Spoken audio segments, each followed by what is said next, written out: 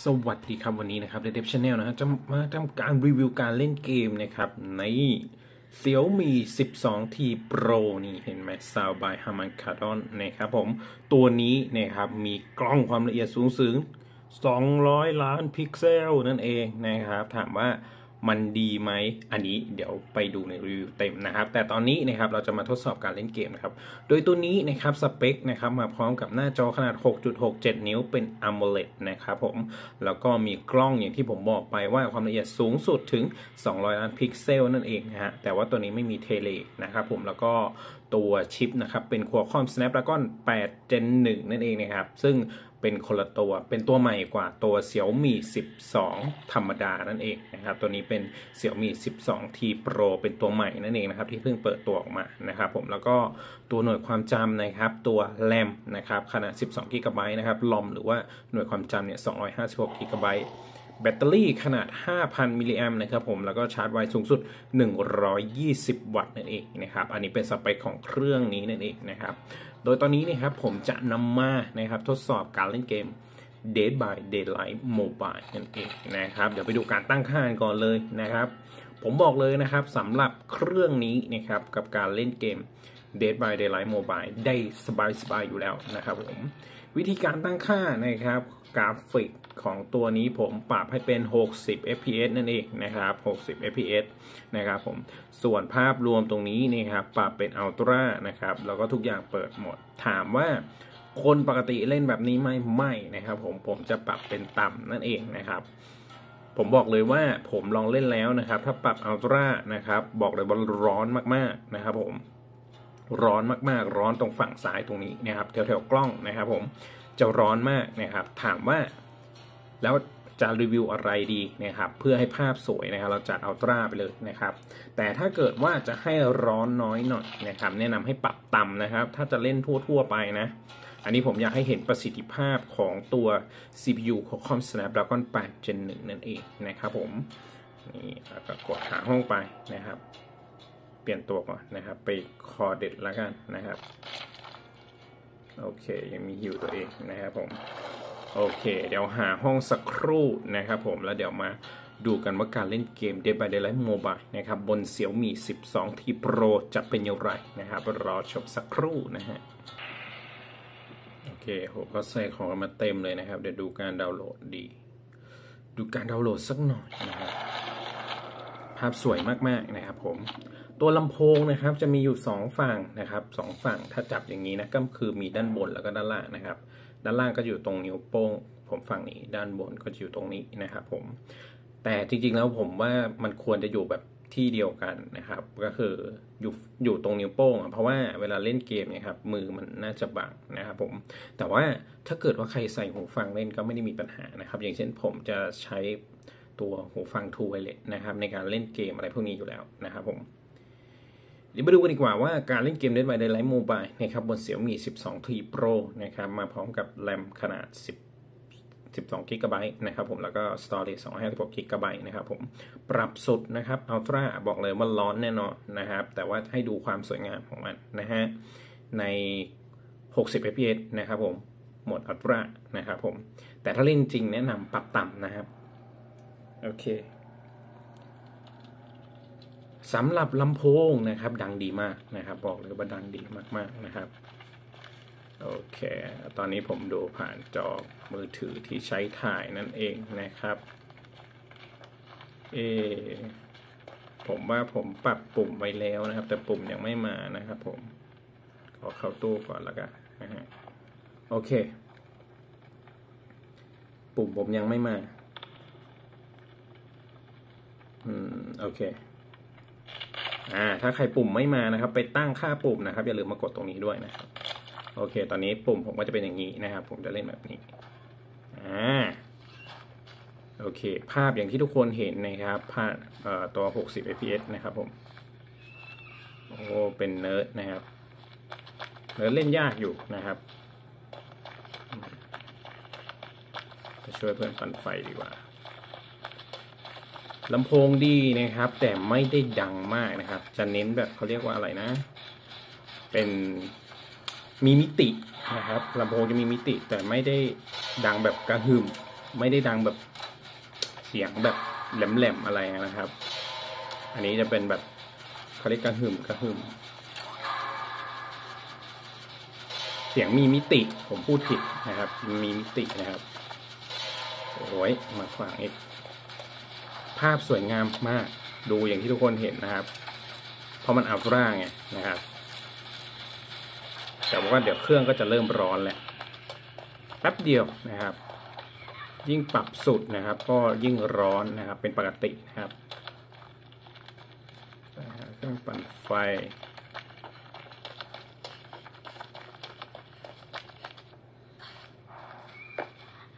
โอเค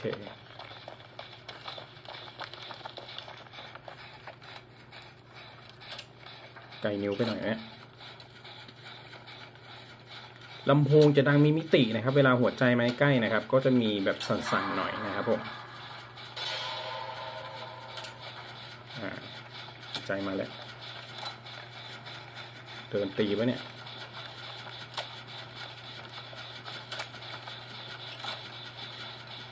ไหนล่ะ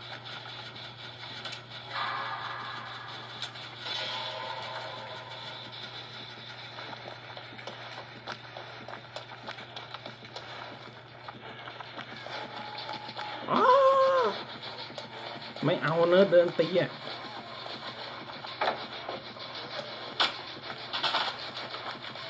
ทีมเปไม้ครับผม นี่โดดโชยดอนครับ นี่ครับ วิ่งยาวๆไปครับ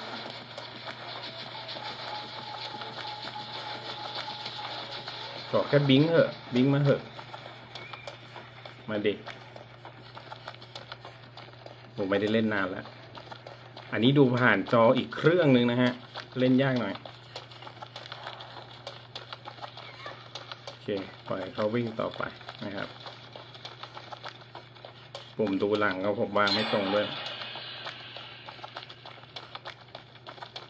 โอเค หาเครื่องปั่นไฟ เครื่องเดิมปะเนี่ยเขาว่าเป็นปั่นต่อ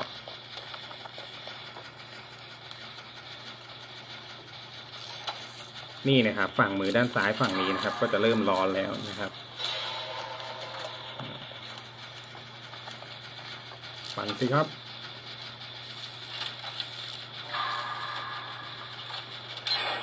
ไปจ้า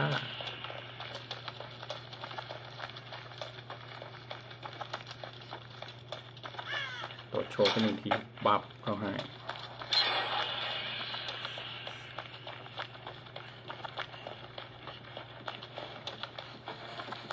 ไม่ดูหลังด้วยเวลาโอ้โหตรงตรงที่มีหัวใจเต้นนะครับ มันก็จะสั่นๆมือหน่อย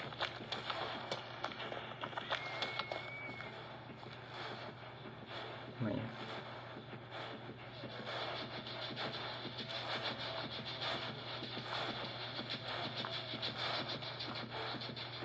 บอทปะเนี่ยโหล น่าจะบอทนะครับ ถ้าไม่บอทนะผมตายห่าไปแล้ว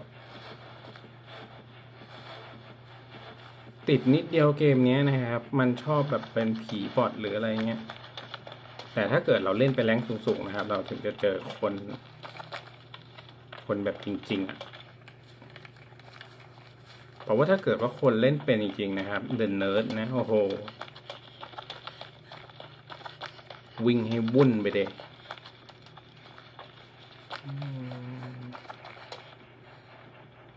เขาอยู่ไหน วิ่งไปเรื่อยครับเรา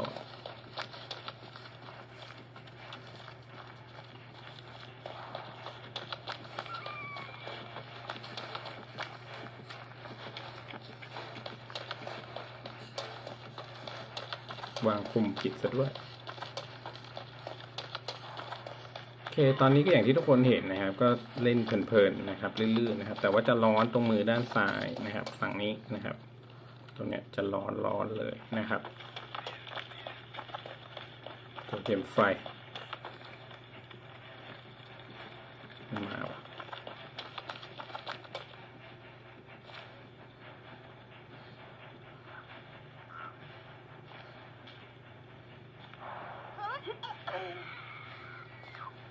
อได้ไหม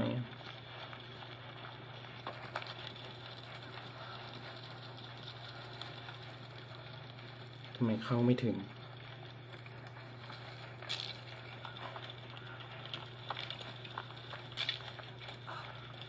ทันไหมทันไม่ทัน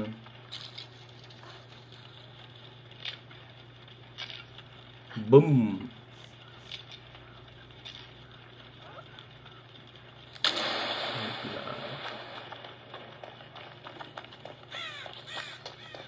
ปั่นไฟต่อ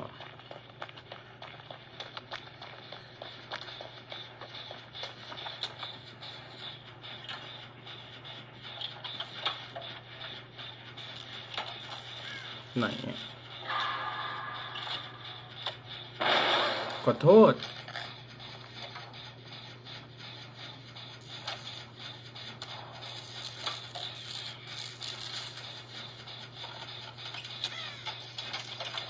ภาพสวยๆเลยนะครับ แต่ร้อน ฝั่งซ้ายยืนยันนะครับ อันนี้ขณะมีเคสนะ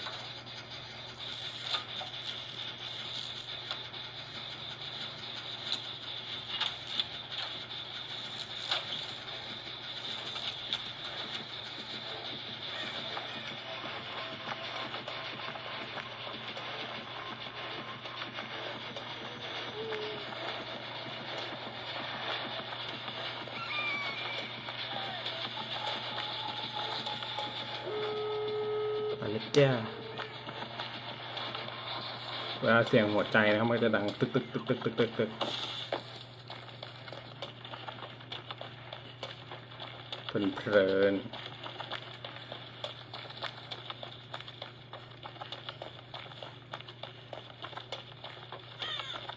จริงๆ แล้วนะครับ เกมมันยังเป็น 60 fps อยู่นะครับ แต่ว่าตัวกล้องนะครับ overheat แล้วนะฮะ มันก็เลยจะถ่ายเป็น 30 fps นั่นเองนะครับ อย่าตกใจ แต่จริงในจอนะครับยังเป็น 60 fps อยู่นั่นเองนะครับผม ไปเลยจ้า โอเคนะครับสำหรับ Ultra นะครับสำหรับเกม Dead by Daylight Mobile นะครับ บน Xiaomi 12T Pro นะครับ RAM 12 GB ROM 256 GB นะครับผม เวลาเล่น Ultra นะครับฝั่งซ้ายมือฝั่งนี้นะครับจะร้อนเลยนะครับถ้าแนะนำนะครับถ้าจะเล่นเกมนี้นะครับ ก็ควรจะเล่นที่ความละเอียดต่ำนะครับ ถึงจะเหมาะนะครับผมเนี่ยฝั่งนี้ร้อนมากนะครับ ร้อนมากเลยนะครับ ฝั่งนี้ ตรงกล้องตรงอะไรครับ ร้อนเลยนะครับผมก็ แนะนำนะครับให้ปรับต่ำนั่นเองนะครับสำหรับใครที่จะเล่นเกม Dead by Daylight Mobile นั่นเองนะครับ ก็